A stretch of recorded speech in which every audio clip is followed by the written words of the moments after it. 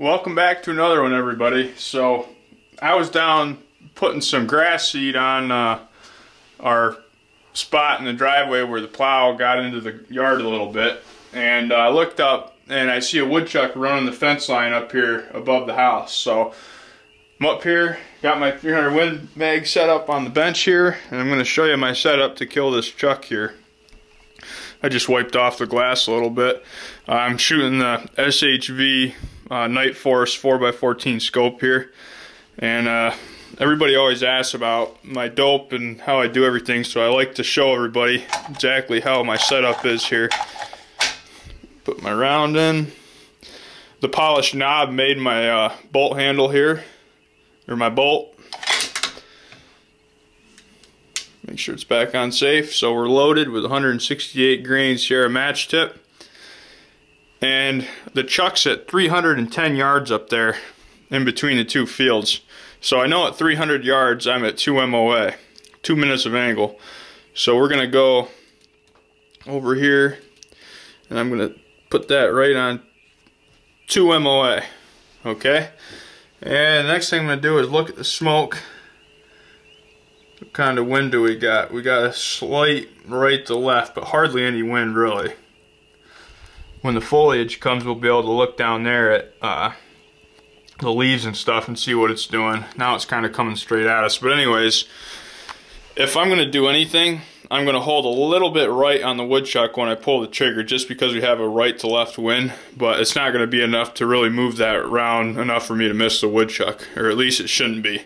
I've been kind of messing up my windage so far this year though on my long range rangers some but okay so our MOA is right we're not going to adjust uh, windage at all on this side my focus is on 14 and we're going to put this right on 300 yards for my focus right there and now uh, one of my secrets to uh,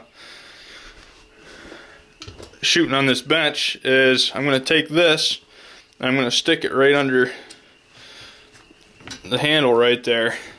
So really when I'm shooting this woodchuck, I'm going to have the crosshairs right on this chuck and I'm not going to be really holding holding the gun so to speak whatsoever. It's it's going to be kind of sitting on the bench really. So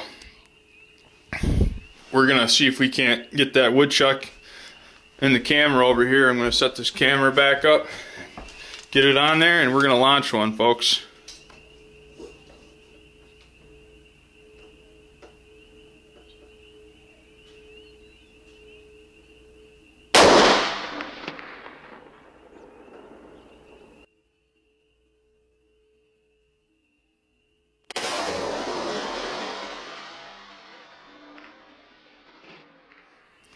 Okay, everybody, and just like that, I think we got a dead chuck.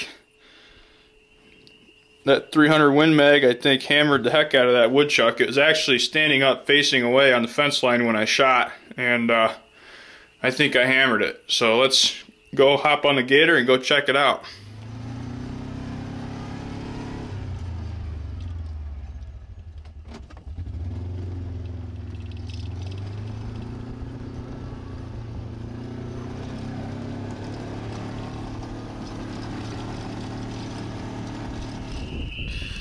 It was about two weeks ago I shot a woodchuck that was right under that uh, bent fence post right there. And uh, if you look over here, there's some fresh holes. And right here is a big old fat woodchuck that just met its maker due to the 300 Win Mag. Look at the blood splatter. All the way back here. Right there. Right there right there. Look how far back this goes. Right here, all the way to right there. Uh, there's some right there. That's that's about 10 yards. He was facing just like he's laying right there, standing right up when I shot him. So the round went in right in here, I'm thinking.